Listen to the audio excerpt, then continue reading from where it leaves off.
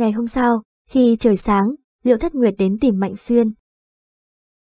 A Xuyên, A Xuyên, Liễu Thất Nguyệt tìm được Mạnh Xuyên đang thi triển đao pháp ở luyện võ trường, Mạnh Xuyên đang thi triển đao pháp tâm ý đao hoàn chỉnh. Tuy rằng vẻn vẹn chỉ là chiêu thứ nhất tâm đào thức hắn ngộ ra đào ý chân chính nhập môn, nhưng những chiêu khác đem bộ dáng bên ngoài thi triển ra cũng không khó. Hắn mỗi ngày sau khi rời giường đều đem toàn bộ đao pháp luyện lên mấy lần, từ đó cảm nhận được ý cảnh đao pháp. Sao hôm nay lại sớm vậy? Mạnh Xuyên dừng đao pháp, hiện giờ mỗi sáng thất nguyệt đều cùng nhau ăn điểm tâm, tựa như thời kỳ kính hồ mạnh phủ. Hôm qua ta gặp ác mộng, mơ thấy mình bị cám dỗ rơi vào sương mù đen, sau khi tỉnh lại tinh thần đều rất mệt mỏi, sắc mặt liễu thất nguyệt có chút trắng bệch. Về sau vẫn không ngủ. Mạnh Xuyên an ủi. Ta cũng gặp ác mộng, chẳng qua trong mộng ta mơ hồ cảm thấy không thích hợp, bỗng nhiên tỉnh ngộ chính mình chính là Mạnh Xuyên, liền rất nhanh tỉnh lại. Ta đang ở trong giấc mơ, vô tri vô giác, Liễu Thất Nguyệt bất đắc dĩ nói. Không thoát khỏi được. Không có việc gì, vài ngày nữa là được rồi, Mạnh Xuyên cười nói. Hơn nữa còn có một cách nói, quá trình chống lại ác mộng, cũng là quá trình tôi luyện ý chí. Quên đi, ta tạm thời không đi hoặc tâm động, vẫn là tiếp tục tu luyện tiễn thuật của ta, Liễu Thất Nguyệt nói. Tiễn thuật của ta phải sớm đạt tới ý cảnh, mới có thể luyện thành phượng hoàng thân thể. Gặp ác mộng không cách nào thoát khỏi, đích xác rất khó chịu, Liễu Thất Nguyệt liên tục gặp ác mộng 5 ngày mới rút cục thoát ly tra tấn, Mạnh Xuyên ngược lại tốt hơn một chút, chỉ làm ác mộng 3 ngày liền triệt để khôi phục bình thường, ba lần ác mộng này hắn đều ở trong mộng đều tỉnh ngộ bản thân. Sau 10 ngày, trạng vạng, Liễu Thất Nguyệt đi địa hỏa nham thạch nóng chảy chỉ ra luyện một canh giờ, là thiên tài thức tỉnh huyết mạch phượng hoàng, tu luyện ở địa hỏa nham thạch nóng chảy, chỉ cảm thấy là hưởng thụ. Hơn nữa thiên phú hỏa diễm của nàng hiện giờ so với trước khi thức tỉnh cao hơn nhiều lắm, tu hành tăng lên cũng nhanh hơn nhiều. Đây cũng là nguyên nhân Nguyên Sơ Sơn có 10 phần tự tin bồi dưỡng nàng. Bất kỳ một phượng hoàng huyết mạch thức tỉnh giả, đều là thiên tài am hiểu hỏa diễm. Cùng lúc đó, Mạnh Xuyên lại đi đến hoặc tâm động, đây là lần thứ hai hắn đi vào hoặc tâm động. Lúc này đây hắn ước chừng đi tới vòng thứ tư cấp độ 6, tiến bộ thực sự là rất lớn. Thời gian trôi qua, cứ cách 10 ngày đi hoặc tâm động một lần, lúc đầu đều thường xuyên có ác mộng, đến lần thứ năm tiến vào hoặc tâm động, liền không còn ác mộng nữa. Nhưng đồng dạng đối với ý chí mài rũa, bắt đầu từ lần thứ năm, hiệu quả cũng giảm mạnh. Đảo mắt đã trôi qua hơn 3 tháng, ngày mùng 5 tháng 4, trời mông lung mưa phùn. Mạnh xuyên, liễu thất nguyệt sáng sớm cùng nhau đi tới động thiên các, xuyên qua núi lớn, thần pháp cực nhanh, mưa phùn kia lại không dính chút nào. A xuyên, ngươi mang theo cuốn sách gì? Liễu Thất Nguyệt phát hiện Mạnh Xuyên cầm hai quyển sách trong tay. Là một số cuốn sách lịch sử, Mạnh Xuyên cười nói. Chờ động thiên các giảng pháp xong, ta đi tàng thư động đổi hai quyển sách. Sách bình thường trong động sách, mỗi lần có thể mượn hai quyển, lần sau cũng có thể đổi sách cũ lấy sách mới.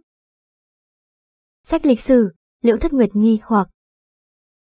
Hoặc tâm động tôi luyện, ta đã đình chỉ rồi, Mạnh Xuyên vừa chạy vừa nói. Ý chí hoặc tâm động tu luyện hai tháng trước, ta vẫn tăng lên tới vòng thứ tư tầng 22, nhưng tháng thứ ba, ba lần hoặc tâm động tu luyện, ta cũng vẻn vẹn chỉ miễn cưỡng tăng lên một tầng, càng về sau, hiệu quả càng yếu, dù sao chúng ta tu luyện bình thường, ý chí cũng có chút tăng lên. Liễu Thất Nguyệt gật đầu. Vậy ý si hôm nay của ngươi, khoảng cách luyện lục dục sát còn kém rất xa, làm sao bây giờ? Hiện giờ mới hoặc tâm động vòng thứ tư cấp độ 23, mà cánh cửa luyện hóa lục dục sát là hoàn chỉnh vòng thứ tư, còn thiếu hơn 50 tầng. Ta đã chuẩn bị sẵn sàng, tình nguyện hao phí 5-6 năm thời gian, cũng phải đem đệ thủ luyện thành, Mạnh Xuyên nói. Tuy rằng hao phí thời gian lâu một chút, nhưng 5-6 năm này ta cũng tu luyện đao pháp như nhau, đao pháp của ta tu luyện sẽ không chỉ hoãn. Bắt luyện thành tựu siêu phẩm thần tôn, còn là cửu luyện thành tựu siêu phẩm thần tôn, điều này ảnh hưởng đến cuộc sống. Mà thời gian trở thành thần tôn, mặc dù vài năm sau, lại ảnh hưởng không lớn. Tựa như trong sách đã từng ghi chép, ý chí có thể trở thành hạng 10 nhân tộc, phàm tục trong vòng một năm có thể đến phong hầu thần tôn, đồng dạng đạo lý, cảnh giới đao pháp đủ cao, từ phàm tục đến thần tôn đại nhật cảnh cũng nhanh đến tàn nhẫn. Phương diện ý chí nội tâm, thì thật phần lớn là dựa vào kinh nghiệm, dựa vào cảm ngộ nhân sinh, Mạnh Xuyên nói. Mà chúng ta tu hành trên núi, rất khó có quá nhiều kinh nghiệm, ta cẩn thận lật xem sách, Phát hiện sách là một biện pháp nâng cao nội tâm, nâng cao ý chí tương đối tốt, đặc biệt là sách lịch sử. Nhìn vào cuộc sống của từng nhân vật trong lịch sử, nhìn vào sự trỗi dậy và suy giảm của các triều đại trong lịch sử. Mạnh Xuyên nói, Tuy rằng không bằng thân thể luyến ái, nhưng trung quy có chút cảm ngộ, ta tin rằng trong năm hoặc 6 năm, ta cũng có thể tăng rất nhiều kiến thức. Mất năm hoặc 6 năm, phát lực nhiều phương diện, hắn định ra chính là luyện đao pháp, đọc sách cùng với sinh tử bò trốn pháp. Đao pháp là quan trọng nhất, chính hắn cũng hiểu được, thiên phú đa pháp bản thân lấy cách nói của sư tôn, chỉ có thể xem như thiên tài, vẽ tranh mới là kỳ tài tuyệt thế, có thể lên núi nửa năm liền ngộ ra hắc thiết thiên thư, thuần túy bởi vì mình rút đao thức cùng tâm đao thức quá phù hợp. Nếu thiên phú như sư tôn nói không cao như vậy, thì hẳn là càng cần cù hơn. Xưng năng tu luyện, mưa gió không trở ngại, cũng có hiệu quả tôi luyện ý chí. Đọc sách là kiến thức dài, tăng trưởng cảm giác. Sinh tử trốn pháp là nguyên sơ sơn tiền bối sáng tạo ra đặc thù tu luyện khinh công biện pháp, ở sâu hơn trong thiên đao quật, so với bình thường Mạnh Xuyên đang tu luyện thân pháp càng xâm nhập hơn trăm trượng, nơi đó phong nhận đủ để trọng thương Mạnh Xuyên, thậm chí 3 năm phong nhận đủ để giết chết Mạnh Xuyên. Hắn muốn thi triển thân pháp tránh né những phong nhận nhanh mà dày đặc kia, tránh không được liền trọng thương, nếu sơ suất, có thể mất mạng. Giữa sinh tử, có đại khủng bố, tinh thần ngưng tụ trước nay chưa từng có, liều mạng né tránh, liều mạng thi triển đao pháp ngăn cản. Sau mỗi lần trọng thương hắn liền lập tức trở về, da thịt vết thương cũng nhanh, lại phối hợp đan dược, trọng thương trong vòng 3 ngày cũng có thể khôi phục hoàn hảo, cho nên cơ hồ mỗi 3 ngày hắn liền tiến hành một lần sinh tử trốn pháp, mỗi lần cố gắng chống đỡ càng lâu, đây là phương pháp ép buộc bản thân. Mạnh Xuyên hôm nay cũng mới thử qua một lần, vụng trộm cõng vết thương băng bó của thất nguyệt, dùng đan dược. Đào pháp, đọc sách, sinh tử bỏ trốn pháp, ba phương diện kết hợp, 5-6 năm thời gian, tin tưởng ý chí đủ để đạt tới ngưỡng luyện hóa lục dục sát, Mạnh Xuyên thầm nghĩ. Hai người bọn họ cùng đi tới động thiên các, vị trí bồ đoàn của bọn họ cũng phát sinh biến hóa. Tiết Phong sư huynh vượt qua cửu huyền động, đã xuống núi rồi. Tiết Phong sư huynh lên núi gần 12 năm, rốt cục tu luyện tới thần tôn đại nhật cảnh, lại là hắc gia ma thể viên mãn, mới thành công vượt qua cửu huyền động. Cửu huyền động đối với Tiết Phong sư huynh khảo nghiệm cũng quá khó khăn. Tiết Phong sư huynh hiện giờ thực lực, ở trong thần tôn đại nhật cảnh đều là tiêu chuẩn đỉnh phong đi. Sáng nay động thiên các, một mảnh nghị luận sôi nổi, đều là nghị luận về An Hải Vương gia ngũ công tử Tiết Phong. Tiết Phong sư huynh dùng núi rồi sao? Mạnh Xuyên kinh ngạc. Nghe có vẻ như hôm qua vừa xuống núi, Liễu Thất Nguyệt cũng kinh ngạc, bình thường các đệ tử không tụ tập cùng một chỗ, tin tức lưu thông liền chậm. Mạnh Xuyên thầm kinh hãi. Thành thần tôn đại nhật cảnh, mới xuống núi, cửu huyền động khảo nghiệm định cũng đủ cao, rất nhiều đệ tử nội môn bình thường, đều là bất diệt cảnh thần tôn liền xuống núi, tỷ như vị Ngọc Dương cung chủ Đông Linh Phủ kia, bởi vì đối với rất nhiều đệ tử bình thường mà nói, lấy ngộ tính của bọn họ, bình thường 3-50 năm mới có hy vọng tu luyện tới đại nhật cảnh thần tôn. Nguyên Sơ Sơn không thể nuôi giống bọn họ 3-50 năm. Hôm nay, tôn giả trước sau như một giảng pháp, các đệ tử cẩn thận lắng nghe, cũng sẽ đưa ra sự hoang mang tu hành. Chẳng bao lâu một ngày trôi qua, chúng đệ tử tản đi. Liễu Thất Nguyệt muốn đi thiên tinh hầu tu luyện tiễn thuật, Mạnh Xuyên ôm hai quyển sách chuẩn bị đi tàng thư động đổi sách, lúc này bên tai truyền đến thanh âm. Mạnh Xuyên, đến nội viện gặp ta. Mạnh Xuyên sửng sốt, cố ý dừng lại ở động thiên các trong chốc lát, đợi đến khi các đệ tử khác đều đi xong, hắn mới xoay người tiến vào nội viện động thiên các. Trong nội viện, Mạnh Xuyên nhìn thấy tôn giả ở trong đình. Sư tôn, Mạnh Xuyên tiến lên cung kính nói. Bắc Phong Chí, tôn giả liếc mắt nhìn quyển sách trong tay Mạnh Xuyên, cười nói. Hiện tại đều xem những quyển sách lịch sử này rồi sao? Đọc sách có thể mở rộng kiến thức, tăng trưởng cảm giác, đối với tu luyện nội tâm ý chí cũng có trợ giúp, Mạnh Xuyên nói. Ha ha, tôn giả cười nói. Xem ra, người đối với ý chí tu luyện nội tâm cũng có kế hoạch. Đệ tử cách cánh cửa ý chí tu luyện lục dục sát còn kém xa, Mạnh Xuyên cung kính bẩm báo. Đệ tử kế hoạch năm 6 năm chậm rãi đến, không thể vội vàng, muốn dựa vào trường kỳ đao pháp tu hành, đọc sách cùng với sinh tử bỏ trốn pháp, để tăng lên ý chí. Tôn giả cười cười, nhẹ nhàng lắc đầu. Sinh tử trốn pháp, quá mức cực đoan một chút, không cần phải học, đọc sách, sau này ngược lại có thể đọc, chẳng qua phải khống chế tốt thời gian. Mạnh xuyên sửng sốt, kế hoạch của mình trực tiếp bị tôn giả sửa lại, vậy ý chí của mình tăng lên thì chậm. Ý chí nội tâm, nóng lòng không được, tôn giả cười nói. Về phần ngươi muốn luyện hóa lục dục sát, ta quên nói với ngươi, lục dục sát là đáng sợ, phàm là đệ tử tục tu luyện, ý chí không đủ đều có thể bị dục vọng khống chế, nhưng lục dục sát cũng chỉ là sát khí đặc thù, đối với hồn phách phàm tục hiệu quả cực tốt, nhưng nếu đối mặt với một vị nguyên thần phong vương thần tôn, nhưng căn bản không lay động được chút nào. Ngươi cũng có nguyên thần, mặc dù ngươi là phàm tục, nguyên thần cũng yếu, nhưng ảnh hưởng của lục dục sát đối với nguyên thần của ngươi so với đối với đệ tử phàm tục bình thường yếu hơn rất nhiều. Chỉ cần ý chí của ngươi đủ để lên đỉnh hắc ám tế đàn, có thể luyện hóa lục dục sát rồi, tôn giả nói. Mạnh xuyên sửng sốt, vừa mừng vừa sợ vừa mừng. Nhưng ngươi đình diệt thế ma thể tu luyện chú thích, sao lại không nói việc này, Mạnh xuyên nhịn không được nói. Ha ha, phàm tục có nguyên thần, lại có mấy người, tôn giả cười nói. Từ khi lôi đình diệt thế ma thể bị sáng tạo mà đến, tu luyện phàm tục đệ tử, ngươi một người là phàm tục liền có được nguyên thần. Tôn giả cười nói. Được rồi, hiện tại biết cũng không muộn, đi đi, đi tiến hành để cử luyện đi. Ừm, Mạnh Xuyên cung kính lui đi. Có chút tâm chiều bành lĩnh xoay người rời đi, nhưng hắn lại tỉnh táo lại, thầm nghĩ. Sư tôn hắn sớm không nói muộn không nói, sau khi ta xông vào tâm động mê hoặc hơn ba tháng, mới cùng ta nói việc này, điều này có ý đó không? Mạnh Xuyên cũng hiểu được dụng tâm lương khổ của sư tôn, chính là cho mình đủ áp lực, để cho mình dụng tâm mài dỗ ý chí. Ý chí trong thần tôn trung hậu kỳ tu hành cũng phi thường trọng yếu, không nhìn thấy rất nhiều phong hầu thần tôn thậm chí phong vương thần tôn khi trở về Nguyên Sơ Sơn đều sẽ thường xuyên đi hoặc tâm động một lần sao. Ta sẽ đổi hai cuốn sách này, Mạnh Xuyên tâm chiều dâng trào, nhưng vẫn đi tới tàng thư động trước, thay đổi hai quyển sách lịch sử mới. Đọc sách cũng là tâm trí thư giãn, tăng kiến thức và hiểu biết, phải kiên trì. Mang theo hai quyển sách mới đổi, Mạnh Xuyên lúc này mới trở về động phủ. Động phủ, mật thất. Mật thất đóng chặt, Mạnh Xuyên lúc này mới lấy ra một bình sứ màu đỏ giấu kín, trong ánh mắt có trường mong. Chuẩn bị bắt đầu để cử luyện đi. Lúc trước đệ bắt luyện hắn cũng chỉ là tu hành trong phòng tắm, bởi vì hắn thời thời khắc khắc bảo trì tuyệt đối thanh tình, cho nên không sợ bị quấy nhiễu. Nhưng lục dục sát, nguyên thần lực không ngăn cản, tùy ý lục dục sát thẩm thấu nguyên thần, ý thức sẽ bị ảnh hưởng, mặc dù có thể miễn cưỡng bảo trì thanh tình, nhưng vẫn là ở một thất phòng bế tu hành, càng thêm an toàn một chút. Phòng ngừa bất ngờ. Đến đây đi. Mạnh xuyên nhẹ nhàng kéo nút chai ra, mũi hít một cái, còn có chân nguyên vô hình bọc dẫn đường, một luồng sát khí màu hồng phấn dọc theo lỗ mũi tiến vào trong cơ thể. Giờ phút này Mạnh Xuyên cũng không thi triển luyện sát đao pháp, bởi vì luyện sát đao pháp chủ yếu là dẫn động thân thể, phụ trợ thân thể luyện hóa sát khí, mà nguyên thần hấp thu sát khí, căn bản không cần luyện sát đao pháp. Hô! Lục dục sát vừa vào thể, thân thể không có bất kỳ hấp thu nào. Thân thể hấp thu sát khí phi thường gian nan, cho dù thi triển luyện sát đao pháp, nếu không ngộ ra đào ý, cũng không cách nào hấp thu lục dục sát của đệ cửu luyện, càng đừng nói giờ phút này Mạnh Xuyên thuần túy đứng tại chỗ không nhúc nhích.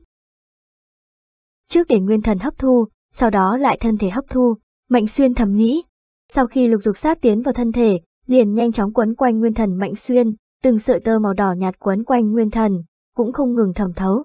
Lục dục sát này xuất phát từ lòng người, đồng dạng một khi xâm nhập vào trong cơ thể người cũng là chủ động thẩm thấu hướng nguyên thần, hồn phách, nếu ý chí không đủ sẽ hoàn toàn bị dục vọng khống chế, phàm là hồn phách yếu ớt dễ dàng bị khống chế nhất, phải có ý chí cao đến mức đủ khoa trương, mà nguyên thần càng cường đại, lục dục sát muốn khống chế lại càng khó.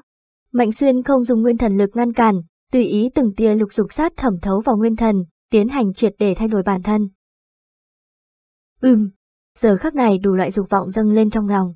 Mình đứng trong một khu vườn, xa xa phụ thân, mẫu thân, thất nguyệt đang ở đó, phụ thân vẫn mập mạp cười ha ha như trước, mẫu thân vẫn trẻ như trước, phảng phất như khi dạy mình vẽ tranh, thất nguyệt cũng bưng chút đồ ăn, bọn họ đều đang cười hô mình, để cho mình đi qua. Xuyên Nhi, lại đây cùng nhau ăn cơm, Mạnh Xuyên giờ khắc này thật sự rất muốn qua đi, hắn muốn cùng gia đình đoàn tụ, nhưng hắn còn có thể duy trì một chút thanh tình, hiểu được những thứ này đều là giả dối. Cảnh tượng nhanh chóng tan biến. Rất nhiều mỹ nhân xuất hiện trước mắt, xinh đẹp vô cùng, vẹn vẹn chỉ mặc một lớp sa mỏng, mỗi một người so với những danh kỹ thanh lâu kia hấp dẫn còn mạnh hơn gấp 10 lần trăm lần, một đám bên người hấp dẫn mạnh xuyên. Dục vọng sinh lý là do thân thể người tự nhiên có được, giờ phút này dưới sự dụ dỗ của lục dục sát, dục vọng vô cùng xúc động mãnh liệt, mạnh xuyên chỉ có thể chịu đựng chống cự. Đợi đến khi cảnh tượng này tan biến, rất nhanh mình xuất hiện trên một mảnh hoang dã, phía sau lại có một đám yêu vương điên cuồng đuổi giết, có người chui xuống đất, có hồ trời phi cầm yêu vương, ai nấy đều vây giết tới đây. Cảm giác sợ hãi, tuyệt vọng mãnh liệt hiện lên trong lòng, hắn muốn sống, muốn sống. dục vọng sinh tồn vô cùng mãnh liệt, dục vọng sinh tồn cũng là dục vọng bản năng sinh mệnh, giờ phút này đều muốn bao phủ ý thức của Mạnh Xuyên. Ta đang luyện sát, những thứ này đều là giả, giả, Mạnh Xuyên ý chí mãnh liệt, cứng rắn chống đỡ. Ý thức liên tục được giới thiệu trong các tình huống khác nhau. Muốn bao phủ lý trí, để cho Mạnh Xuyên tự mình sụp đổ, một khi sụp đổ trầm luân, vậy thì hoàn toàn bị dục vọng khống chế. Nhưng ý chí của Mạnh Xuyên hiển nhiên khá cao, so với hắc ám tế đàn lên đỉnh còn mạnh hơn năm thành, chống cự được dục vọng bất đồng lần lượt trùng kích. Một số là ham muốn tình cảm, một số là mong muốn sinh lý, những người khác là mong muốn theo đuổi trái tim, đủ loại dục vọng ảnh hưởng khác nhau, nhưng Mạnh Xuyên đều chống đỡ. Hô! Mạnh Xuyên thở phào nhẹ nhõm, triệt để khôi phục thanh tình, cũng nhìn thấy mật thất trước mắt, mà một luồng sát khí lục dục kia đã hoàn toàn dung nhập vào trong nguyên thần. Hiện tại bắt đầu sát khí luyện thể, Mạnh Xuyên thầm nghĩ, toàn bộ cửu sát luyện thể, hạch tâm chính là luyện thân thể, tám loại sát khí đầu tiên đều là thân thể hoàn toàn dung nhập, chỉ có địa cửu sát mới cần nguyên thần hồn phách hấp thu một bộ phận lục dục sát, thân thể lại hấp thu bộ phận, thân hồn nhất thể như thế, mới vừa rồi có thể mượn thiên lôi lực, ở trong thần tôn huyết trì, triệt để thành tựu lôi đình diệt thế ma thể. Hút, một luồng lục dục sát lại bị hút vào trong cơ thể, lục dục sát lập tức chủ động thẩm thấu hướng thức hải, nhưng lúc này đây lại có nguyên thần lực ngăn cản, cấm nó thẩm thấu. Mạnh xuyên duy trì tuyệt đối thanh tình, lập tức lấy đào ý dẫn sát thi triển luyện thể đao pháp đồng bộ. Đao pháp dẫn động lực lượng sâu trong thân thể, làm cho thân thể sâu xa bắt đầu chậm rãi hấp thu sát khí lục dục, từng tia chậm rãi hấp thu, Trần nguyên bao phủ bên ngoài thân ngăn cản những sát khí ly thể này, như thế ước chừng chén trà công phu mới hấp thu xong. Ngày đầu tiên nguyên thần mạnh xuyên hấp thu ba luồng sát khí lục dục, thân thể hấp thu 6 luồng sát khí, tỷ lệ 1 đến 2, đây cũng là tỷ lệ trong sách tu luyện chú thích cho rằng rất thích hợp, mà lôi đình diệt thế ma thể nguyên bản lại không có đề nghị này, chỉ là nói tận tình hấp thu, hấp thu đến cực hạn, không cách nào hấp thu mới thôi. Thân thể hấp thu sáu luồng sát khí ngược lại chống đỡ, nhưng nguyên thần lại xa mới tới cực hạn, nhưng một bình sát khí cũng chỉ có 9 sợi. Một ngày hấp thu một bình lục dục sát, đã rất nhanh rồi, Mạnh Xuyên cũng không vội. Ngày hôm sau Mạnh Xuyên liền đi tới tàng bảo lâu, cũng lần nữa gặp được dịch trưởng lão. Luyện hóa lục dục sát, dịch trưởng lão giật mình nhìn Mạnh Xuyên. Lĩnh bình đầu tiên lục dục sát, chỉ có thể nói rõ Mạnh Xuyên bát luyện công thành. Mà nhận bình thứ hai thì khác, đại biểu Mạnh Xuyên đem bình lục dục sát đầu tiên luyện hóa, phàm tục muốn luyện hóa thật sự quá khó khăn. Khó khăn có hai điểm, một là hồn phách hấp thu lục dục sát phi thường gian nan, yêu cầu ý chí quá cao, hai là cho dù ý chí cao, dưới lục dục sát cũng chỉ có thể bảo trì một bộ phận thanh tình, thì triển luyện thể đao pháp hiệu quả cũng yếu, bình thường đạt tới ý chí cảnh đại thành mới có thể làm cho thân thể luyện hóa sát khí. Hai đại nan nạn khiến cho trong lịch sử bình thường mấy trăm năm mới xuất hiện một vị lôi đình dề thế mà thể cường giả viên mãn. Tốt, đây là bình lục dục sát thứ hai, dịch trưởng lão trong mắt tràn đầy chờ mong, bởi vì kế tiếp chỉ là chậm rãi luyện hóa mà thôi, không bao lâu nữa, một vị cửu luyện viên mãn lôi đình giới thế ma thể sẽ xuất hiện. Đây là chai thứ ba, dịch trưởng lão liếc mắt một cái có thể nhìn thấu sát khí trong cơ thể mạnh xuyên càng thêm nồng đậm, tự nhiên cho một bình mới. Tốc độ của ngươi rất nhanh, một ngày có thể luyện hóa một bình sát khí. Đây là chai thứ năm. Đây là bình thứ 10. Đã 50 bình rồi, Mạnh Xuyên, hiện giờ trên núi rất nhiều người có thể chờ ngươi thành tự thần tôn thể đấy, dịch trưởng lão có chút chờ mong. Theo Mạnh Xuyên lần lượt lĩnh lục dục sát, mỗi ngày đều đi nhận, tin tức truyền đi rất nhanh, toàn bộ Nguyên Sơ Sơn rất nhiều người đều biết Mạnh Xuyên đang dùng tốc độ một ngày một bình lục dục sát luyện hóa, cách hơn 200 năm, cử luyện lôi đình diệt thế ma thể lại sắp xuất hiện. Hiện giờ trong số các đệ tử chưa xuống núi, Mạnh Xuyên là nhân vật tiêu điểm nhất. Tính cả Mạnh Xuyên, 20 năm gần đây cũng chỉ có hai siêu phẩm thần tôn thể viên mãn, người còn lại là Tiết Phong. Mà Tiết Phong tu luyện là hắc sa ma thể, trong độ khó được công nhận ở Nguyên Sơ Sơn. Long thần thể cùng Phượng Hoàng thần thể là dựa vào huyết mạch thức tỉnh mà không đề cập tới, 10 loại thần tôn thể khác, có 5 loại độ khó là cao hơn một cấp bậc, lôi đình diệt thế ma thể chính là một trong số đó. Trong lịch sử Nguyên Sơ Sơn, luyện thành 5 loại siêu phẩm thần tôn thể có độ khó thấp hơn, đạt tới viên mãn, 10 năm cũng có thể ra một, lôi đình diệt thế ma thể năm loại đầu còn phải viên mãn, nhưng mấy chục năm mới xuất ra một, hiếm thấy nhiều lắm. Long thần thể, Phượng Hoàng thần thể, thuần túy xem vận khí, huyết mạch thức tỉnh nhất định có thể thành, không thức tỉnh vĩnh viễn không trông cậy vào. Cho nên đối với một vị mạnh xuyên có thể đem lôi đình diệt thế ma thể tu luyện viên mãn, các đệ tử khác đều rất khâm phục, hắn tự nhiên trở thành tiêu điểm, ngay cả mỗi lần luận đạo hội, đều có rất nhiều đệ tử đến bắt chuyện vài câu, ít nhất xem như quen biết mạnh xuyên, dù sao nói không chừng tương lai yêu cầu Mạnh Xuyên hỗ trợ. Bình thứ 70, bình thứ 80, rốt cục Mạnh Xuyên nhận được bình thứ 90. Tối hôm đó Mạnh Xuyên cũng luyện hóa lục dục sát. Hắn không có nhiều hưng phấn, nhưng có chút bối rối. 90 bình sát khí đã triệt để luyện hóa xong, dựa theo tỷ lệ 1 so 2, thân thể hấp thu 2 phần, nguyên thần hấp thu một phần, nhưng ta lại không đạt tới cửu luyện viên mãn. Mạnh Xuyên đứng trong một phòng có chút hoang mang bất đắc dĩ. Ta có thể cảm giác được thân thể hấp thu sát khí đã đến cực hạn, khuyết điểm là ở nguyên thần, nguyên thần của ta hấp thu sát khí tựa hồ thiếu đi rất nhiều, xa xa đến cực hạn, không cách nào làm cho sát khí cầu luyện hợp nhất. Dựa theo sách vở của từng vị tiền bối tu luyện trong lịch sử ghi lại, 90 bình bình thường chính là cực hạn, cho dù thân thể thiên phú nghịch thiên, nhiều nhất nhiều hơn mấy bình mà thôi. Nhưng ta cảm thấy nguyên thần của ta, cách cực hạn còn kém rất xa. Chẳng lẽ lại đi lĩnh mấy chục bình? Mạnh xuyên bất đắc dĩ. Lĩnh thêm 3 năm bình thì thôi, còn có thể nói thân thể bản thân đặc thù một chút, nhưng nhận thêm mấy chục bình ai cũng biết có vấn đề.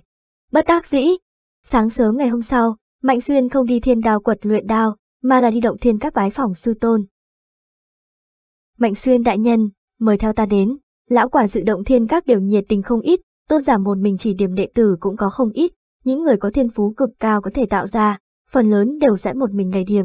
Bình thường vị lão quản sự này cũng không quá để ý Mạnh Xuyên, nhưng hiện giờ Nguyên Sơ Sơn cơ hồ đều biết, Mạnh Xuyên sẽ thành tựu cửu luyện lôi đình diệt thế ma thể, mấy trăm năm mới xuất ra một người, hiếm thấy cỡ nào, vị trên là Quy Hải Hầu hơn 200 năm trước, chỉ tiếc vì một nhiệm vụ đặc thù nào đó, nhân tộc tổn thất vị Quy Hải Hầu này. Sư phẩm thần tôn thể không quan trọng phân biệt cao thấp, nhưng mỗi người đều am hiểu. Lôi đình diệt thế ma thể đại biểu cho tốc độ cực hạn, đối với nhân tộc mà nói thời khắc mấu chốt có thể phát huy tác dụng thật lớn.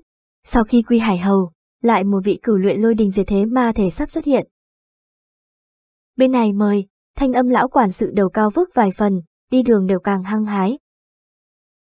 Sư tôn, Mạnh Xuyên đi vào trong vườn, nhìn thấy tôn giả đang thản nhiên cắt cành cây, trong vườn là cành cây đầy đất rụng lá. Lão quản sự hơi hành lễ liền lui ra. Tôn giả tiếp tục thản nhiên cắt xén, bình tĩnh nói. Chuyện gì vậy? Đệ tử tiến hành đệ cửu luyện, 90 bình lục dục sát đều đã dùng hết, nhưng không có cửu luyện hợp nhất chân chính. Đệ tử cảm thấy luyện sát thân thể hàn là đến cực hạn, nhưng nguyên thần luyện hóa sát khí khoảng cách cực hạn còn kém xa. Mạnh Xuyên nói.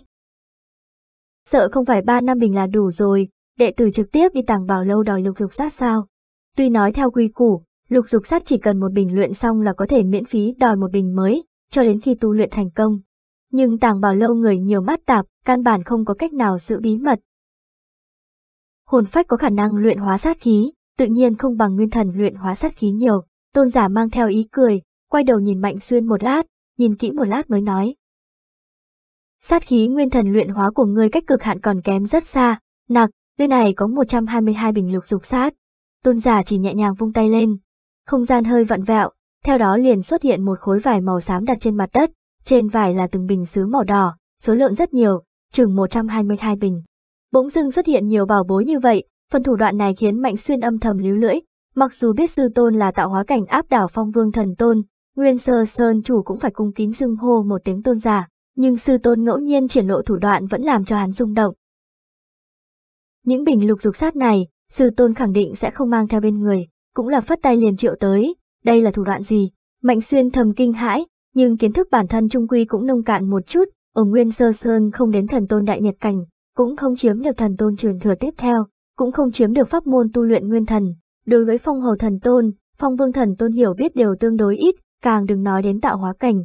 Ngay cả ba chữ tạo hóa cảnh, chính mình có thể nhìn thấy trong sách cũng không có, vẫn là sư tôn nói ra chính mình mới biết được. Sư tôn, đệ tử còn phải 122 bình lục dục sát mới có thể cửu luyện hợp nhất. Mạnh Xuyên nhìn thấy những bình sứ màu đỏ kia, lại cảm thấy số lượng có chút nhiều. Nguyên thần của ngươi có thể luyện hóa sát khí, so với ngươi tưởng tượng còn nhiều hơn, tôn giả cười nói. Nếu ta không nhìn lầm, chờ nguyên thần ngươi luyện hóa xong sát khí, sợ không còn lại mấy bình. Mạnh Xuyên tự nhiên rất tin tưởng ánh mắt tôn giả. Thân thể của ngươi, căn cơ gấp 3 lần người bình thường, coi như rất tốt, nguyên thần, so với hồn phách người bình thường mạnh hơn không biết bao nhiêu, tôn giả cười nói. Lục dục sát người luyện hóa, so với bất kỳ người thu hành lôi đình diệt thế ma thể nào trong lịch sử còn nhiều hơn nhiều, ta cũng rất chờ mong, cử luyện lôi đình diệt thế ma mà ngươi thành tựu sẽ có bộ dáng như thế nào, Được rồi, không có gì khác, nhanh chóng lấy tất cả những chai này và quay lại. Nói xong tôn giả lại tiếp tục cắt tỉa cành cây. Ừm, đệ tử cáo lui. Mạnh Xuyên lập tức bọc vải đen lại, biến thành bao bọc, cõng trên người cung kính hành lễ rời đi. Đích xác, Mạnh Xuyên là hậu bối tu luyện lôi đình diệt thế ma thể, duy nhất phàm tục có được nguyên thần, luyện hóa lục dục sát tự nhiên vượt qua lịch sử nhiều. Mạnh Xuyên đưa lục dục sát về động phủ mật thất, lại tiếp tục đi thiên đao quật luyện đao, tu luyện kiên trì. Có rút đao tích lũy, hắn lên núi nửa năm liền ngộ ra đao ý.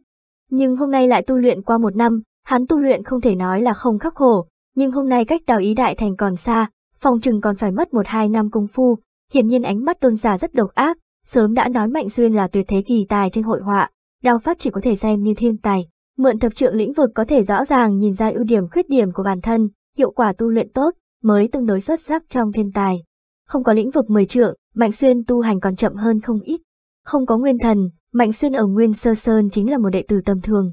Đương nhiên nguyên thần cũng là một bộ phận thực lực của Mạnh Xuyên, đây cũng là nguyên nhân tôn giả coi trọng hắn. Thậm chí Mạnh Xuyên không biết, những người dựa vào truyền thừa của cha mẹ, khi còn nhỏ đã có nguyên thần, nguyên thần trưởng thành rất khó, bởi vì nguyên thần tu luyện cha mẹ không giúp được gì. Mà Mạnh Xuyên loại này vẽ tranh một đạo tuyệt thế kỳ tài, có thể ngưng luyện hồn phách thành nguyên thần, tương lai vẽ một đạo là có thể tiếp tục tăng lên nguyên thần. Dựa vào truyền thừa của cha mẹ, là một lần, về sau nguyên thần trưởng thành chỉ có thể dựa vào chính mình, dựa vào kỹ nghệ của bản thân, nhưng nó là liên tục. Mạnh Xuyên lấy được 122 bình lục dục sát ngày hôm nay, trước sau như một buổi sáng luyện đao, buổi chiều vẽ tranh, trạng vạng cùng thất nguyệt cùng nhau vui vẻ tu luyện luận bàn. Đến buổi tối hắn mới bắt đầu luyện hóa lục dục sát, hắn phát hiện thân thể đích xác không cách nào hấp thu lục dục sát nữa, nhưng lượng cơm của nguyên thần lại rất kinh người, mở rộng để cho nó hấp thu, thế nhưng nửa canh giờ liền nuốt ước chừng ba bình lục dục sát mới cảm thấy có chút chống đỡ. Đợi đến đêm hôm sau, lại luyện hóa ba bình. Vì vậy, dựa theo tốc độ ba bình lục dục sát mỗi ngày, nguyên thần mạnh xuyên liên tục luyện hóa, mỗi đêm cũng phải tiếp nhận dục vọng khảo nghiệm, điều này cũng rèn luyện ý chí của mạnh xuyên. Luận đạo phong, luận đạo hội, các đệ tử chưa xuống núi tụ tập cùng một chỗ trao đổi sự hoang mang trong tu hành, cũng có luận bàn tỉ thí, cũng rất náo nhiệt. Kỳ quái, Mạnh sư huynh không phải nửa tháng trước đã kết thúc đệ cử luyện, sao còn chưa xông vào sinh tử quan thành thần tôn, nhóm đồng môn ngồi cùng nhau uống rượu, bình thường tu luyện vất vả, giờ phút này ngược lại rất thả lòng. Tàng bảo lâu bên kia sớm xác định, Mạnh sư huynh đích xác lĩnh 90 bình lục dục sát, hiển nhiên luyện hóa viên mãn, cử luyện viên mãn, hắn càng là năm ngoái liền ngộ ra đào ý luyện thành hắc thiết thiên thư tuyệt học. Theo lý thuyết, điều kiện thành thần tôn cũng đủ rồi, hiện giờ hắn vẫn không đột phá, đích xác có chút kỳ quái. Có thể có nguyên nhân khác. Nếu là ta, hết thầy đều chuẩn bị tốt, nhất định là mau chóng thành thần tôn. Cho nên hắn là mạnh sư huynh, mà ngươi là ngư sư đệ. Những người bạn cùng nhà mỉm cười. Ở Nguyên Sơ Sơn, dưới thần tôn phong hầu cảnh đều là đồng đẳng, thực lực yếu xưng hô thực lực mạnh là sư huynh sư tỷ. Nếu thực lực lẫn nhau tương đương, đều rất chú ý lễ tiết, hắn xưng hô ngươi một tiếng vương sư huynh, ngươi xưng hô hắn một tiếng lưu sư huynh, chính là đồng môn thân thiện. Nếu thực lực không đủ, còn tùy tiện gọi sư đệ đối phương, là có chút đắc tội với người khác. Hiển nhiên trong số các đệ tử chưa thành thần tôn, ai nấy đều gọi Mạnh Xuyên là Mạnh Sư Huynh. Mạnh Xuyên không đi tàng bảo lâu, yêu cầu xông vào sinh tử quan. Nguyên Sơ Sơn chủ cùng dịch trưởng lão sóng vai đi, xông vào sinh tử quan là cần phải vận dụng bảo địa mấu chốt nhất, thần tôn huyết trì, là phải đi tàng bảo lâu chủ động yêu cầu, qua tàng bảo lâu xác định có 10 phần nắm chắc có thể thành công, mới có thể cho phép đệ tử xông vào sinh tử quan thành thần tôn. Không có. Dịch trưởng lão lắc đầu. Tàng bảo lâu chính là ta đang quản, ta làm sao có thể không biết, hắn cửu luyện chấm dứt đều gần một tháng, cũng không biết vì sao không đột phá, có thể có lý do đặc biệt để trì hoãn. Có thể vì lý do đặc biệt nào, bọn họ ở trên núi cũng không có thực sự phiền não, chỉ cần tu hành trở nên mạnh mẽ, Nguyên Sơ Sơn chủ lạnh nhạt nói. Vậy mà thực lực đến thì nên sớm tăng lên, chuyện tu hành, vốn nên bắt lấy mỗi một điểm thời gian tăng lên. Như vậy đi, đợi thêm một tháng nữa, nếu là một tháng sau hắn còn chưa có yêu cầu xông vào sinh tử quan, ngươi liền tự mình đến cửa, đi hỏi một chút, xem là nguyên nhân gì, nếu có điều gì đó ảnh hưởng đến hắn, chúng ta cũng có thể giúp đỡ. Ừm, dịch trưởng lão gật đầu. Thần tôn, số lượng rất trọng yếu, bởi vì rất nhiều nơi đều phải thần tôn chấn thủ, nhưng chất lượng quan trọng hơn.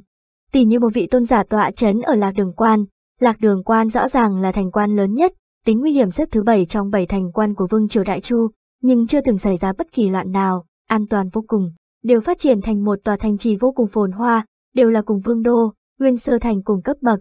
Một vị phong vương thần tôn liền có thể tọa chấn một tòa thành quan cỡ lớn.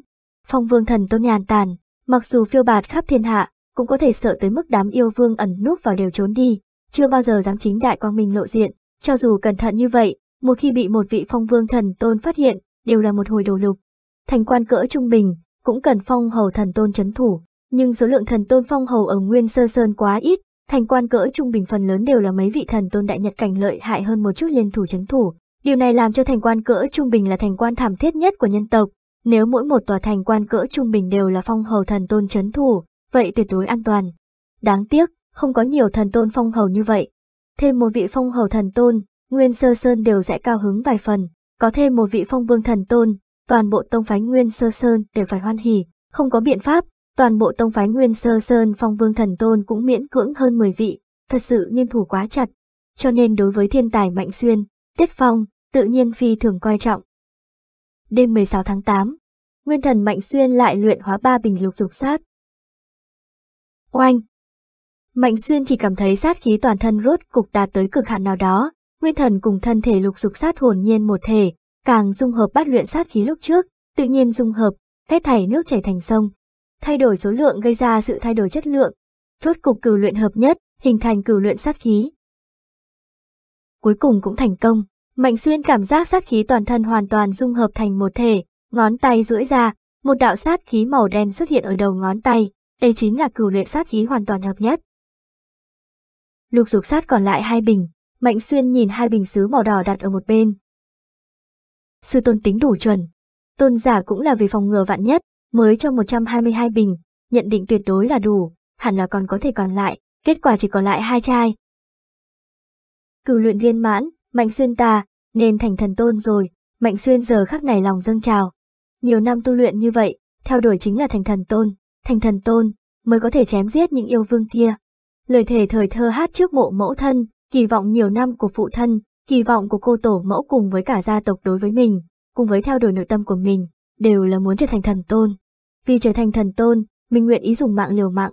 Mà đêm nay mình rút cục cửu luyện công thành, cách thành thần tôn chỉ thiếu một cước cuối cùng lâm môn, Mạnh Xuyên sao có thể không kích động. Đêm nay hắn lăn qua lộn lại, căn bản không ngủ ngon, thượng nguyên sơ sơn hắn lần đầu tiên mất ngủ. Nhưng sáng sớm hôm sau Mạnh Xuyên khí sắc vẫn rất tốt, cười ha hả, đối với các quản sự tôi tớ trong động phủ cũng nhiệt tình hơn vài phần, làm cho những quản sự, tôi tớ kia đều có chút thụ sùng nhập kinh. Đại nhân nhà chúng ta đây là sao? Sao hôm nay lại khách khí như vậy? A Xuyên, Liễu Thất Nguyệt đến ăn điểm tâm với Mạnh Xuyên, nàng lại phát hiện Mạnh Xuyên vẫn cười tùm tìm, nhịn không được nói. A Xuyên, sao hôm nay ngươi không thích hợp lắm? Có gì đó không đúng, Mạnh Xuyên nhìn nàng, Bình thường khi ta đến, ngươi còn đang luyện đao pháp, Liễu Thất Nguyệt nói. Hôm nay ngươi lại sớm ăn điểm tâm, hơn nữa còn ăn nhàn nhã như vậy.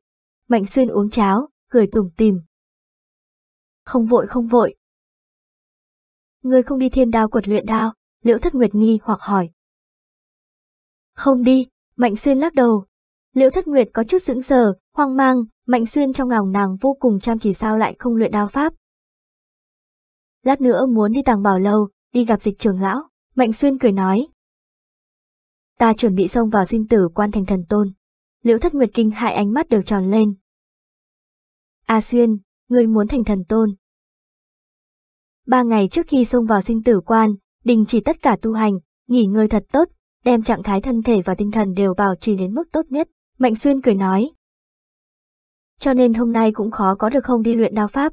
Đây cũng là yêu cầu trong bí tịch, Xông vào sinh tử quan, cũng không phải là nói giỡn, đó là quá trình trùng tu sinh mệnh, từ phàm tục trở thành một gã thần tôn chân chính, bất luận phương diện nào cũng không chủ quan. Ừ ừ ừm, đúng vậy, ba ngày nay ngươi phải nghỉ ngơi thật tốt, liễu thất nguyệt liên tục gật đầu. Lát nữa ta sẽ cùng ngươi đi tàng bảo lâu. Ăn điểm tâm xong, Mạnh Xuyên, Liễu Thất Nguyệt liền cùng nhau rời khỏi cảnh Minh Phong đi tới chủ phong sùng Hoàng Phong, đến trước tàng bảo lâu. Mạnh Xuyên đại nhân tới rồi. Hôm nay cũng không phải là ngày nhận bảo vật đan dược, Mạnh Xuyên đại nhân tới đây, chẳng lẽ là muốn xông vào sinh tử quan. tàng bảo lâu nhàn rỗi đông đảo, nhìn thấy Mạnh Xuyên lập tức liền có suy đoán, bởi vì hơn một tháng trước Mạnh Xuyên đã nhận xong 90 bình lục dục sát, mọi người đã sớm chờ hắn xông vào sinh tử quan thành thần tôn, nhưng đảo mắt đã hơn một tháng trôi qua, hôm nay Mạnh Xuyên đột nhiên tới đây, tự nhiên rất nhiều người có suy đoán này. Mạnh Xuyên và Liễu Thất Nguyệt bước vào tàng bào lâu. Mạnh Xuyên đại nhân, nam tử áo xanh chủ động nghênh đón. Ta chuẩn bị xông vào sinh tử quan, Mạnh Xuyên mở miệng nói. Người mau bẩm báo trưởng lão đi. Ừm, nam tử áo xanh ánh mắt sáng người, liên tục gật đầu. Ta đi bẩm báo trưởng lão. Hiện giờ những người khác ở lầu một tàng bảo lâu cũng nghe được rõ ràng, không khỏi âm thầm hưng phấn. Bọn họ những quản sự tôi tớ cả đời đều vì các thần tôn cống hiến, cho nên cũng phi thường quan tâm các loại thần tôn. Mỗi một vị thần tôn cường đại sinh ra, bọn họ đều có vinh quang. Mỗi một vị thần tôn chết trận, bọn họ cũng đồng dạng cảm thấy bi thương. Mạnh xuyên, dịch trưởng lão đi ra, cười ha hả. Rốt cục chuẩn bị xông vào sinh tử quan. Ừm, Mạnh xuyên gật đầu. Dịch trưởng lão nhìn kín Mạnh xuyên. Đích xác cửu sát hợp nhất, đào ý của ngươi cũng đã sớm ngộ ra, thân thể cũng không có ám thương, mọi thứ đều ổn. Như vậy, bắt đầu từ hôm nay, liên tục 3 ngày nghỉ ngơi thật tốt, không cần liều mạng tu luyện, để cho thân thể và tinh thần của mình điều chỉnh đến tốt nhất. Đúng rồi, đây là ba khỏa tạo hóa đan. Dịch trưởng lão đem một bình ngọc màu xanh đưa cho Mạnh Xuyên. Mỗi ngày dùng một viên tạo hóa đan, đối với thân thể và tinh thần đều có trợ giúp. Ba ngày sau, cũng chính là ngày 20 tháng 8, giờ sáng, ngươi đến sinh tử phong thần tôn huyết trì động, đến lúc đó tôn giả sẽ tự mình dẫn ngươi bày đạo thiên lôi. Ừm, Mạnh Xuyên trịnh trọng điểm. Hảo hảo trở về nghỉ ngơi đi, dịch trưởng lão mỉm cười nói, lập tức nhìn về phía liễu thất nguyệt. Liễu thất nguyệt, ngươi cũng hảo hảo tu hành, sớm đạt tới ý chi cảnh. Ừm, trưởng lão, liễu thất nguyệt lập tức đáp, lập tức bổn mạnh xuyên nhanh chóng rời đi. Dịch trưởng lão nhìn hai người rời đi, trên mặt cũng tràn đầy tươi cười. Hai tiểu bối này hắn đều rất quan tâm. Một là thức tỉnh huyết mạch Phượng Hoàng, hiện giờ trên đời chỉ có hai người, tương lai tu luyện thành Phượng Hoàng thần thể là chuyện nước chảy thành sông, hơn nữa khẳng định là viên mãn thần thể. Một là dựa vào bản thân tu hành lôi đình diệt thế ma thể, cũng là cửu luyện viên mãn, không thua gì Phượng Hoàng thần thể. Hai người này có thể đi cùng một chỗ, dịch trưởng lão vẫn rất hài lòng, bởi vì thần tôn càng mạnh, huyết mạch còn nối dõi cũng sẽ cường đại, tỷ như phong vương thần tôn An Hải Vương, mấy đứa nhỏ mỗi người đều thành thần tôn, thậm chí tư chất cũng khá cao, mấy vị phong vương khác cũng tương tự nhau, giống như con nối dõi tồn tại ở tạo hóa cảnh, tạo hóa cảnh cường giả nếu như nguyện ý trả giá lớn, đều có thể làm cho hài tử khi còn nhỏ liền có được nguyên thần. Nhân tộc ta, những thần tôn lợi hại này càng nhiều càng tốt, di trưởng lão thầm nghĩ. Ba ngày sau, ngày 20 tháng 8, thời tiết buổi sáng có chút lạnh lẽo, Mạnh Xuyên cùng Liễu Thất Nguyệt cùng đi tới Sinh Tử Phong. Sinh Tử Phong là một chỗ trọng địa của Nguyên Sơn Sơn, bình thường là nghiêm cấm các đệ tử tiến vào, bởi vì nơi này có thần tôn huyết trì cực kỳ trọng yếu ở Nguyên Sơ Sơn. Mạnh Xuyên cũng là hôm nay xông vào sinh tử quan mới tới đây, giống như những đệ tử ngoại môn kia, trên chiến trường không ngừng liều mạng tích góp công lao, cũng là vì có đủ công lao đổi lấy một lần cơ hội tiến vào thần tôn huyết trì. Sắp tới rồi, trong mắt Mạnh Xuyên có chờ mong, trạng thái tốt trước này chưa từng có, Liên tục 3 ngày phục dụng tạo hóa đan chân quý, hiện giờ trong thân thể hắn có sinh cơ nồng đậm, tinh thần cũng cảm thấy không nên thoải mái. Phía trước chính là thần tôn huyết trì động. Ừm, Mạnh Xuyên, Liễu Thất Nguyệt nhìn thấy hai bóng người đứng xa xa, một vị là Nguyên Sơ Sơn Chủ, một vị là dịch trưởng lão. Sơn Chủ, trưởng lão, Mạnh Xuyên, Liễu Thất Nguyệt đi tới gần, lúc này cung kính hành lễ. Nguyên Sơ Sơn Chủ khẽ gật đầu, Liễu Thất Nguyệt cũng không cần đi về phía trước nữa, ở đây, cùng ta cùng dịch trưởng lão xem lễ đi. Ừm, Liễu Thất Nguyệt cung kính đáp. Mạnh Xuyên, đi đi, Nguyên Sơ Sơn chủ chỉ vào thần tôn huyết chỉ động phía trước. Tôn giả cũng ở đó, tôn giả tự mình giúp người hộ pháp, trên Nguyên Sơ Sơn, chỉ có rất ít đệ tử khi thành thần tôn có thể được tôn giả tự mình hộ pháp. Chỉ cần dựa theo pháp môn lôi đình dề thế ma thể miêu tả đi làm, không cần lo lắng, Dịch trưởng lão cũng nói. Đệ tử đi qua trước, Mạnh Xuyên cung kính nói. Liễu Thất Nguyệt cũng cổ vũ nhìn Mạnh Xuyên, Mạnh Xuyên cười cười, liền quay đầu đi về phía động thần tôn huyết trì. Thần tôn huyết trì động, thoạt nhìn bình thường, dọc theo một thông đạo huyệt động tương đối rộng rãi đi vào trong, cũng tương đối quanh co, đi đến cuối liền thấy được một ầm ầm, ao chỉ có phạm vi hai trượng, tương đối nhỏ, cũng bình thường, giờ phút này bên cạnh ao có chút lỗ nhỏ, những lỗ nhỏ này đang có chất lỏng màu xanh chảy vào, hiện giờ bên trong ao đều có một tầng chất lỏng màu xanh nhạt. Đợi lát nữa, thần tôn huyết trì sẽ đầy, thân ảnh tôn giả từ trong hư vô hiện ra, xuất hiện bên cạnh thần tôn huyết trì. Sư tôn, Mạnh Xuyên cung kính hành lễ. Sau khi thần tôn huyết trì chứa đầy, người có thể tiến vào trong huyết trì khoanh chân ngồi xuống, tôn giả lạnh nhạt nói. Chuẩn bị xong, ta sẽ giúp ngươi dẫn xuống bảy đạo thiên lôi. Đệ tử hiểu rõ, Mạnh Xuyên cung kính nói, liền ở đó chờ đợi thần tôn huyết trì chứa đầy, là tài nguyên cực kỳ trọng yếu của nhân tộc, chân quý tự nhiên là chất lỏng màu xanh trong đó, bình thường ao này đều trống rỗng, chỉ khi đột phá mới có thể rời bộ phận lại đây. Chất lỏng ao cũng không phải huyết sắc, nhưng vì sao gọi là thần tôn huyết trì? Bởi vì ở thời viễn cổ nhân tộc, đã từng có tài nguyên thần tôn huyết trì hao hết, vì thần tôn có thể truyền thừa đời này qua đời khác, đám thần tôn cường đại thật sự dùng thần tôn huyết tinh của mình làm tài liệu thần tôn huyết trì. Thần tôn huyết tinh, các thần tôn tầm thường đều không có, chỉ có thần tôn đủ cường đại ở trung đan điền mới có thể tu luyện ra thần tôn huyết tinh. Một quả thần tôn huyết tinh, so với máu toàn thân đều quan trọng hơn, đại biểu cho căn cơ thân thể, cũng sẽ ảnh hưởng đến tuổi thọ. Đám thần tôn cường đại trả giá thật lớn, chính là vì không ngừng tuyệt thần tôn truyền thừa. Hiện giờ cũng không cần đám thần tôn cường đại trả giá như thế, chẳng qua vẫn dùng cái tên thần tôn huyết trì, chính là vì để cho hậu bối nhớ kỹ, là có một đám cường đại thần tôn tiền bối dùng tuổi thọ của mình, tu hành căn cơ, đổi lấy sự tiếp nối của thần tôn truyền thừa. Được rồi, thần tôn huyết trì đã đầy, người có thể đi xuống, tôn giả mở miệng nói. Ừm, sư tôn, Mạnh Xuyên cởi giày và áo khoác ra, buông bội đao xuống, chỉ mặc y bào bên người, đi chân trần bước vào thần tôn huyết trì trong phạm vi hai trượng. Chất lỏng màu xanh trong thần tôn huyết trì có chút lạnh lẽo, Mạnh Xuyên tiến vào trong thần tôn huyết trì, liền khoanh chân ngồi xuống, chỉ cảm thấy có khí cơ vô hình xuyên thấu qua da chui vào trong cơ thể, trong lúc nhất thời sinh cơ nồng đậm đáng sợ ở trong thân thể, ngay cả móng tay, tóc của Mạnh Xuyên cũng bắt đầu dùng tốc độ mắt thường có thể thấy được sinh trường. Mạnh Xuyên rất rõ ràng, thần tôn huyết chỉ có thể trọng tố thân thể, chân chính từ phàm tục đến thần tôn một bước lên trời, nhưng đồng dạng cũng vô cùng chân quý, nếu không cũng sẽ không nhiều thiên tài như vậy, không có cơ hội tiến vào thần tôn huyết trì. Sư tôn, ta được rồi, Mạnh Xuyên mở miệng nói. Được rồi. Tôn giả ở một góc tóc dài phiêu phiêu, ngẩng đầu nhìn về phía trên, ánh mắt lại xuyên thấu qua nhàm thạch trở ngại, thấy được bầu trời mênh mông. ầm ầm. Bầu trời vốn rất bình tĩnh, nhưng đột nhiên có hai đám mây đen khổng lồ hình thành, còn có lôi đình ở trong đó lóe lên. Hôm nay nói thay đổi liền thay đổi. Liễu thất nguyệt xa xa xem lễ lại có chút khiếp sợ.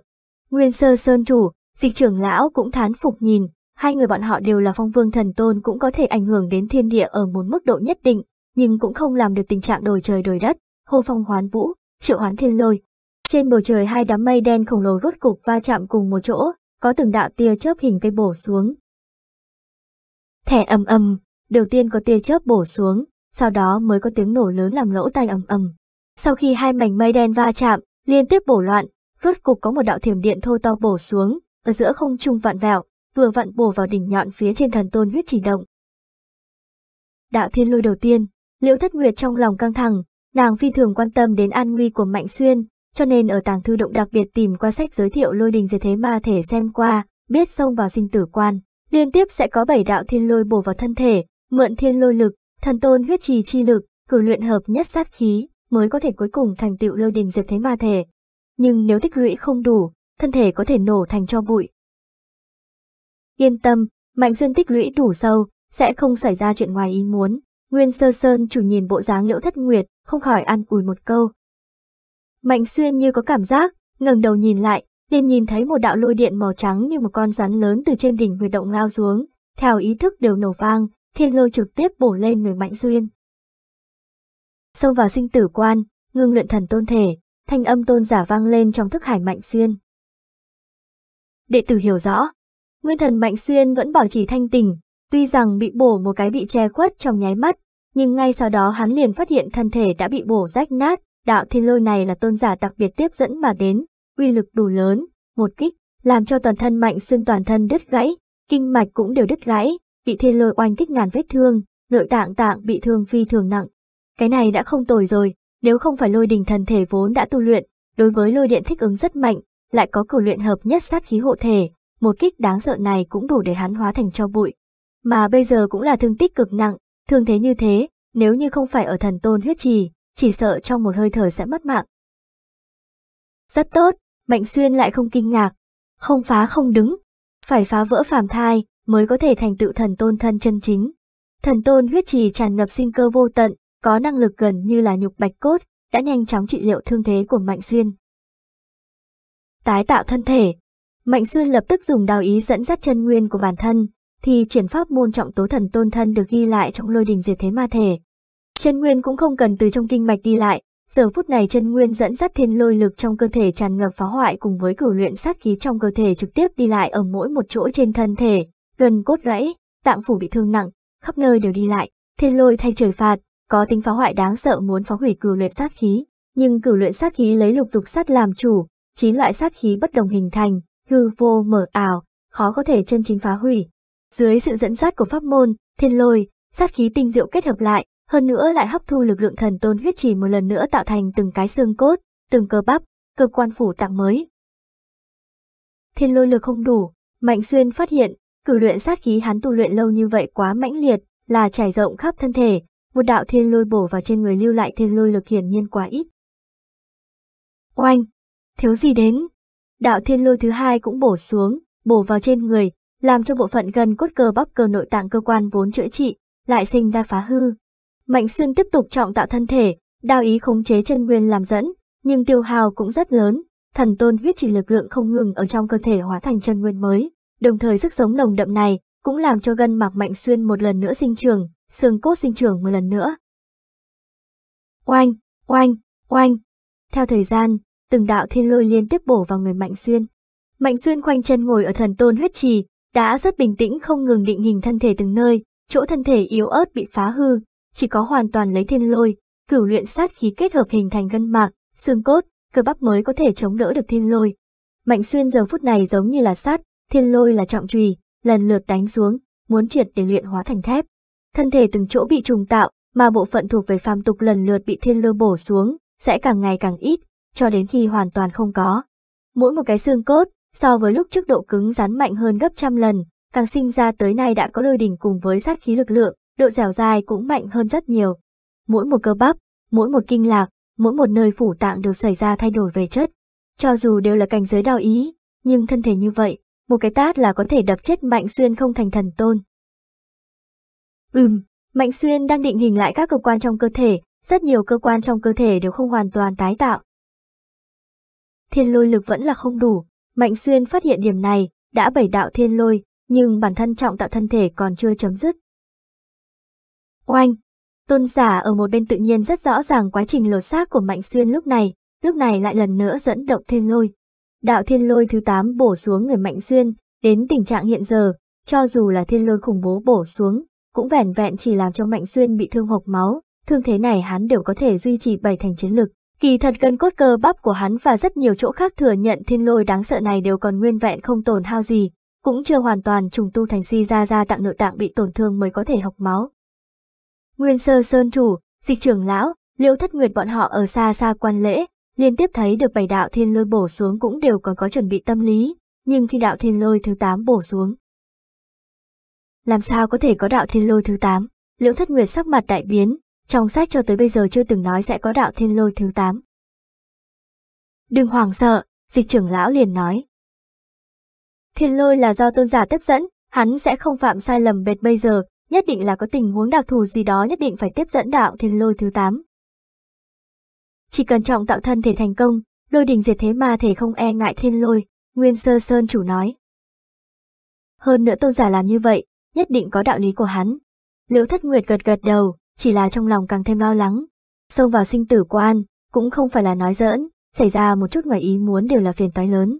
Cho dù lôi đình diệt thế ma cân nặng thành công, có thể bổ thêm một đạo thiên lôi đều có phiền toái lớn, bởi vì quá nhiều thiên lôi lực ở trong cơ thể, đối với cuối cùng ngưng kết đan vân triệt để bước vào đan vân cảnh, là có trở ngại lớn. Oanh! Lại là một đạo thiên lôi bị tiếp dẫn, bổ vào đỉnh thần tôn huyết chỉ động. Đạo thứ 9 thiên lôi, nguyên sơ sơn chủ, Dịch trưởng lão cũng đều có chút lo lắng nghi hoặc, bọn họ rất tin tưởng tôn giả, nhưng vì sao phải tiếp dẫn đạo thiên lôi thứ 9, hai người bọn họ cũng không cách nào lý giải. Liễu Thất Nguyệt càng lo lắng phát hoàng, nhưng nàng chỉ có thể nhìn, không có cách nào khác. có thể làm cho nàng xem lễ đã là đãi ngộ đặc thù rồi. Nguyên Sơ Sơn có thể tận mắt nhìn thấy Mạnh Xuyên vượt qua cửa ải sinh tử cũng chỉ có mấy người bọn họ, những người khác đều cấm lên sinh tử phong, thậm chí giờ phút này mây đen hội tụ, lôi điện điên cuồng bổ, bên ngoài đỉnh sinh tử, căn bản là vô hình, cũng không nghe thấy bất kỳ tiếng sấm nào, ít nhất vào lúc này, sinh tử phong cùng ngoại giới hoàn toàn ngăn cách. Bên trong thần tôn huyết trì, Mạnh Xuyên khoanh chân ngồi trong huyết trì, làn da hắn trong suốt trong suốt, trên đầu trơn bóng, y bào cũng triệt để hóa thành cho bụi, đều lộ ra lồng ngực của hắn, toàn thân tản ra ma lực khó hiểu, càng mơ hồ có sấm sét hiện ra dưới da, chất lỏng màu xanh của thần tôn huyết trì vẫn nhiều như trước, tiêu hao bao nhiêu bổ sung bao nhiêu, căn bản không lo lắng không đủ. Trùng tu thân thể, cuối cùng cũng thành công, Mạnh Xuyên cũng thở phào nhẹ nhõm, lúc trước hắn tái tạo thân thể phát hiện thiên lôi lực dĩ nhiên không đủ, ước chừng chín đạo thiên lôi lực thiên lôi mới triệt để cùng cửu luyện sát khí, triệt để trọng tạo thân thể. Thân thể mỗi một chỗ đều lột xác thành công, cũng triệt để cáo biệt phàm thai, thành thần tôn chi thân. Bất quá kế tiếp còn có một bước cực kỳ trọng yếu, ngưng kết tan vân. Bất đồng với yêu tộc, thân thể yêu tộc phần lớn cường đại, thực lực 7 phần trên người thịt, 3 phần ở trên yêu lực, mà nhân tộc lại ngược lại, ba phần thực lực ở trên người thịt, bảy phần ở đan điền chân nguyên, cái gọi là đan vân cảnh, bất diệt cảnh, đại nhật cảnh, ám tinh cảnh. Vô gian cảnh, cũng chỉ đan điền chân nguyên hoàn toàn bất đồng năm loại trạng thái,